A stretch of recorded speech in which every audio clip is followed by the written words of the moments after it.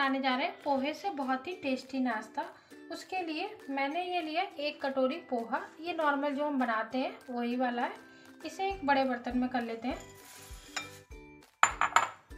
और इसमें थोड़ा सा पानी डाल के, क्योंकि इसमें एक पाउडर सा रहता है तो वो अच्छा नहीं लगता। उससे थोड़ा सा हमारा पोहा टेस्ट में भी अच्छा नहीं रहता है।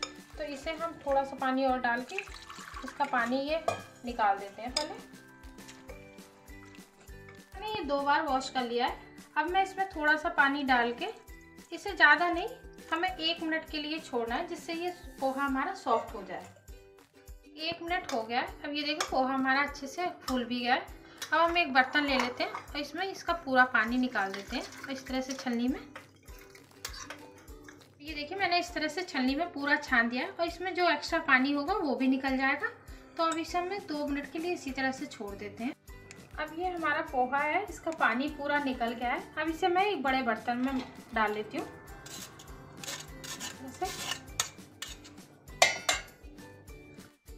अब हम इसे क्या करेंगे, हाथ की मदद से इस तरह से ना मैश कर लेंगे पूरा।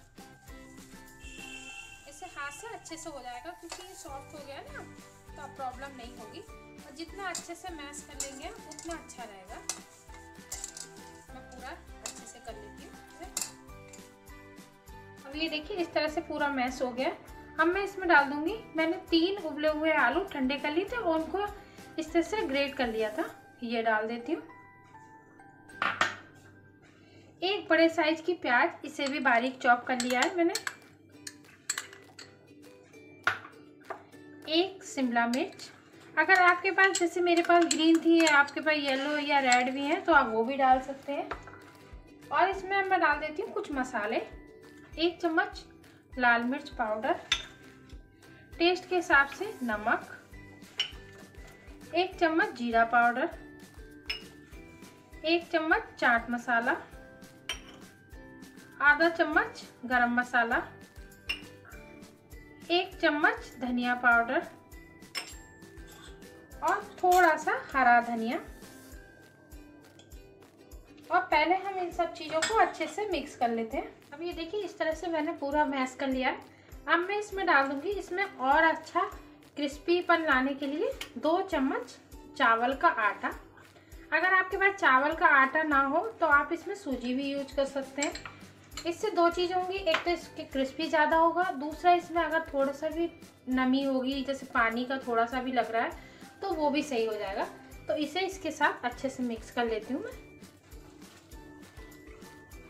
अब ये देखिए, पूरा हमने अच्छे से इसमें आटा भी मिक्स कर लिया, सब चीज़ें अच्छे से मिक्स हो गई हैं।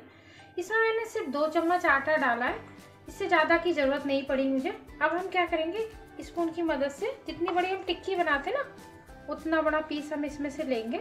अब मैंने हाथों पे थोड़ा सा ऑयल लगा लिया, जिससे कि थोड़ा सा ये बनाने में आसानी हो जाए। वैसे तो चिपकता नहीं है, पर जैसे बनाते हैं तो वो अच्छे लगते हैं देखने में। और इसे इस तरह से प्रेस करते हुए ना जैसे टिक्की बनाते हैं हम, उस तरह के। ये देखिए, इतना मोटा। ज़्यादा मोटा की ज़रूरत नहीं है। इसी तरह से हम बना बना के तैयार कर लेते हैं। ये देखिए, मैंने इस तरह से बना के ये पूरा तैयार कर लिया है। अब हम क्या करेंगे? एक एक पीस लेंगे ये। और इस पर ना थोड़े थोड़े तिल जो सफ़ेद वाले रहते हैं, इससे ये है, एक तो हमारा नाश्ता देखने में अच्छा लगता है। और खाने में भी जो तिल आते हैं ना, थोड़े से, वो भी अच्छे लगते हैं। और आजकल ठंड का मौसम है तो तिल अच्छे रहते हैं। ये इसी तरह से सब तैयार कर लेते हैं। अब मैंने एक फ्राई पैन में ऑयल गर्म होने रख दिया था। अब मैं इसमें डाल देती हूँ। एक एक ये इस तरह से कटलेट और ऑयल ज़्यादा तेज भी नहीं होना चाहिए और ज़्यादा हल्का गर्म भी नहीं होना चाहिए।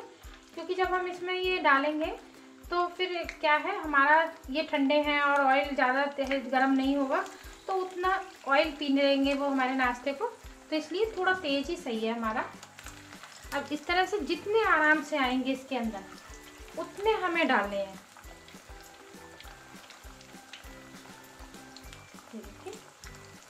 मैंने डाल दिए। और अभी हम इन्हें दो से तीन मिनट इसी तरह से छोड़ देते हैं, इससे जिससे कि एक साइड से थोड़ा सा ये पक जाए। अब दो से तीन मिनट हो गए अब हम एक स्पून की मदद से इन्हें पलट देते हैं। और दूसरी साइड से भी अच्छे से गोल्डन कर लेंगे हम, इसी तरह से पलटते हुए।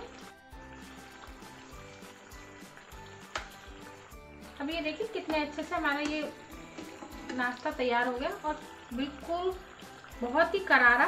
और अब हम इसे निकाल लेते हैं। अब हमारे पोहा, कटलेट या पोहा पकौड़े बनके तैयार हैं। अगर आपको ये रेसिपी पसंद आए तो प्लीज़ मेरी वीडियो को लाइक करें शेयर करें कमेंट करें और चैनल को सब्सक्राइब करें। मिलते हैं इसी तरह की एक मज़ेदार टेस्टी नई रेसिपी के साथ।